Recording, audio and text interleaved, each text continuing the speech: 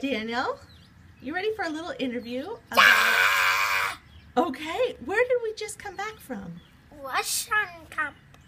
Russian camp. And what were your favorite parts of camp? Ooh, my favorite parts. Camp store. The camp store. Did you get a souvenir? Oh, tons. Tons? Tons of them. Okay. What what about the food? Was the food any good? It was great. The cake. Oh, the Spartak, I think it was called. Oh my gosh, that was amazing, wasn't it? How about were the people nice? Did you make any friends? Yeah, tons. So many that I can't even remember any names. Really? It's a good thing we have social media to keep in touch, huh?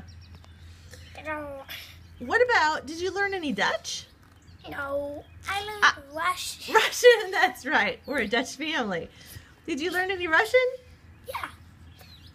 Das vidanya. Das vidanya, what does that mean? That means goodbye. What about, uh, what do you say in the morning?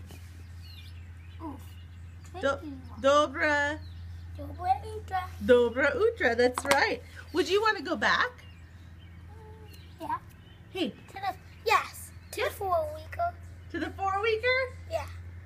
Gotta wait a couple years till you're a little older, huh? Actually no. Now I'm gonna go to the two weeker because I just went to the one weeker. You just did the one weeker, now you want to go to the two weeker. Hey, can you look over here so, and so everybody can see? Okay. There we go.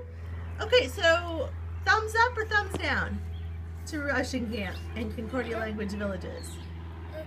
Oh, oh. Almost two thumbs up? Yup. Right. Thank you for that review. Das vidanya.